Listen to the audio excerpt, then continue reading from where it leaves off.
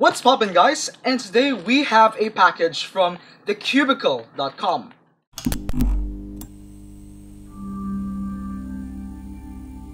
Huge, huge, and special thanks to Leo Borromeo for helping make this package possible.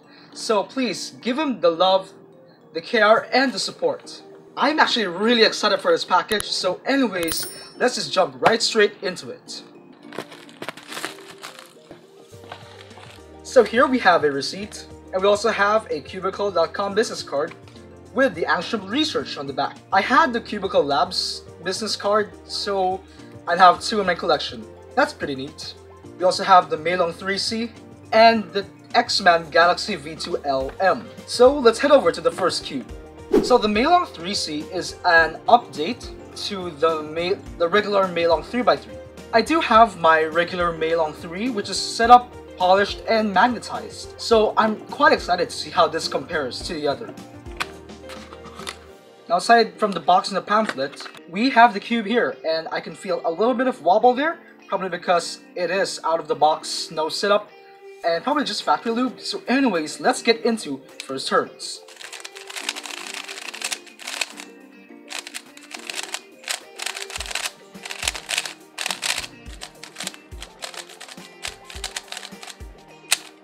Okay, from this first impressions, I can feel just a little bit more stability and the corner cutting also is actually quite nice compared to the, the other Meilongs that I had out of the box. The smoothness is still the same, as to be expected as an out-of-the-box Meilong, so that's also quite nice. The corner cutting, it's also, as to be expected, just similar to a regular Meilong, and reverse is also almost around that piece mark. I can still feel a little bit of that out-of-the-box scratchiness and sandiness, and after a little bit of break-in setting up, this will actually definitely get better. Well, this is quite to expect from the Meilong line, and I'm actually really quite happy about this. And now, we have the cream of the crop of this unboxing, the Galaxy V2 LM. So far, I don't actually have any magnetic Megaminxes in my collection, and right now I'm currently borrowing Nathan the Cuber's Galaxy V2M. So, let's take a look and see how this compares to my other Megaminxes. When I unboxed the Vault V2, I did not realize you could drag it out like this. Here we have the Megaminx without any plastic wrapping, and we have an accessories box and a pamphlet inside. So these are the black pieces when you want to replace any face in the Megaminx with black. And that's pretty cool. I'll definitely be doing this soon because I'm not that used to having gray on top, especially that it's a bit too subtle of a color. So I'll definitely be switching with these. So out of the box, the V2 LM feels quite lubey, so I'll just wipe this down first before we get into first turns. Alright, got it wiped down quite a little bit more recently, so anyways, let's see first turns. Okay, I can feel a little of that scratchiness. It's just a little bit there. There's a little bit of that stiffness I can feel just a little bit. Maybe it's because of it, these tire tensions. I'm not that used to it yet, but I might, I might have to experiment with these tensions. But the speed of this is actually just quite reasonable.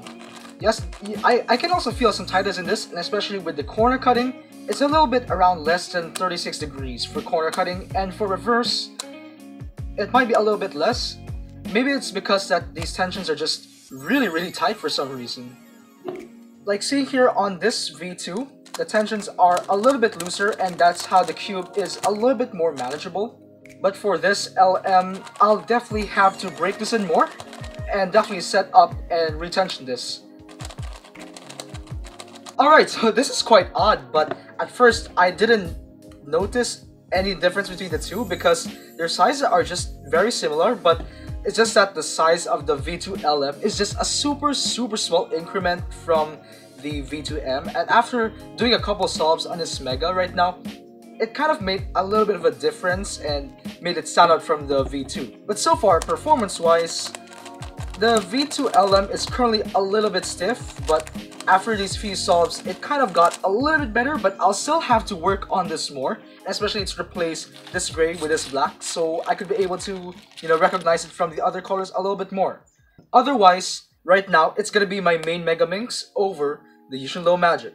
I've been a little bit used to the regular V2, and this has been uh, reset up, and for this I'll also have to do the same as well. So I'm really excited to see how this goes. I really also need to return this as well, so yeah, because it's not my Megaminx. So anyways, these are the two puzzles that I have unboxed in this video, and they are quite quite promising. This one, hopefully, might actually end up being better than a standard Meilong, but with work and time, we'll see about this. And for the V2LM, I also have to replace the caps once again to work it in and make it much more better. So I'll see you guys in the next bit of this video. Now, I've spent over two months with these two cubes, and here are some of my thoughts. The Meilong 3C is basically just like a regular Meilong, no further statement. Things are more unique with the Galaxy V2 LM on the other hand. From these two months, it has become smoother than its out-of-the-box feeling. The corner cutting definitely has improved after setup and has become one of the best corner cutting on the market.